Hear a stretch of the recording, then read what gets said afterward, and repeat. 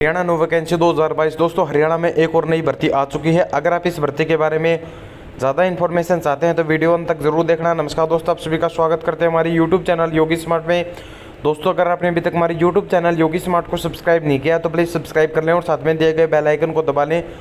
ताकि latest information आप तक सबसे पहले पहुँच सके। दोस्तों वीडियो में आगे बढ़ने से पहले आप सभी से रिक्वेस्ट है, अगर आपने अभी तक हमारे टेलीग्राम चैनल को ज्वाइन नहीं किया तो प्लीज़ टेलीग्राम चैनल को ज्वाइन कर लें। टेलीग्राम चैनल का लिंक डिस्क्रिप्शन में दिया गया है। हमारे टेलीग्राम चैनल का नाम है योग स्मार्ट जॉब या जॉब से जुड़ी सभी जानकारी सबसे पहले पाने के लिए यूट्यूब चैनल योगी स्मार्ट को सब्सक्राइब ज़रूर करें और टेलीग्राम चैनल को भी ज्वाइन ज़रूर करें।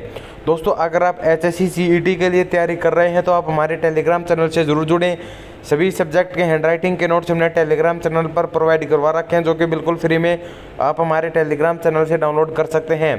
दोस्तों, हरियाणा में एक और नई भर्ती आ चुकी है। ये न्यूज़पेपर की कटिंग दोस्तों, हमने टेलीग्राम चैनल पर प्रोवाइड करवा दी है। वहाँ से आप इसको डाउनलोड कर सकते हैं। हरियाणा में मेडिकल कॉलेजों में जो है, सहायक प्रोफेसर के पदों पर जो है, वो नई भर्ती है। दोस्तों, आ चुकी हैं। हरियाणा में सरकारी मेडिकल कॉलेजों में सहायक प्रोफेसर की भर्ती। अब चिकित्सा, शिक्षा एवं अनुसाधन निर्देशक ने अब चार महीने में वापस सुपर स्पेशलिस्ट के दो पदों को वापस लिया है। अब यह भर्ती जो है, एक सौ सतासी पदों पर हो चुकी है। अहम बात यह है कि सुपर स्पेशलिस्ट के कुल 36 पदों में से अब 14 अक्टूबर तक आवेदन किए जा सकेंगे।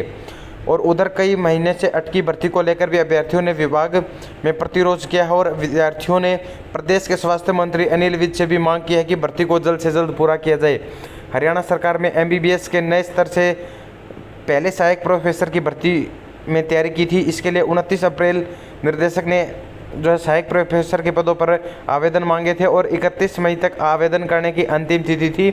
इसके बाद मुख्यालय की ओर से इस पर भर्ती को आगामी प्रक्रिया नहीं की गई, जिसके चलते यह भर्ती अटक गई है।